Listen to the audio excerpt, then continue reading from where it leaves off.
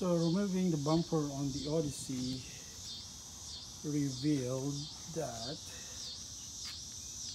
um, I have a leak. So there's a leak here. Um, this is the power steering line. Yep.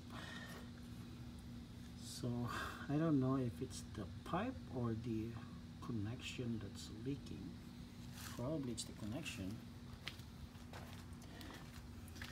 Then I think this side is okay. So I think it's the connection that's leaking. Yeah, it's similar to that. So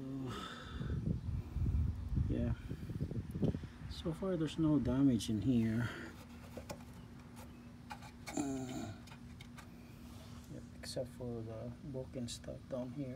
Maybe it's just a minor fender bender that uh, scratched the bumper, like a minor dent on the bumper cover. So I'm gonna start uh, replacing this one. I think I need to jack it up and then um, remove the wheel so that I have uh, more space to unscrew those.